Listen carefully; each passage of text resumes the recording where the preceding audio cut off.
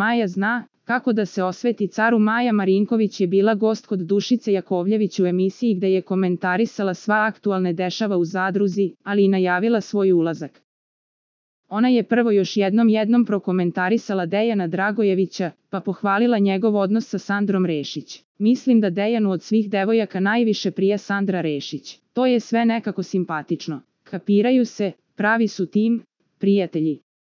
Drago mi je što je Sandra uz njega, dosta mu je lakše što ima podršku, ali ne mislim da postoje neke simpatije, istakla je Maja. Potom je voditeljki Dušici Jakovljević otkrila šta misli o vezi Milice Veselinović i Mensura Ajdarpašića. Mensur je takav, on štiti i bude uz svoju devojku. Sad nešto da komentarišem pretereno ne mogu. O njemu imam najlepše mišljenje, nije lošu reč za mene rekao. Uvek me je komentarisao na najbolji mogući način, leto smo se videli u Budvi. Unutra ću imati najbolji odnos sa njim, to niko neće moći da spreči, poručila je Maja.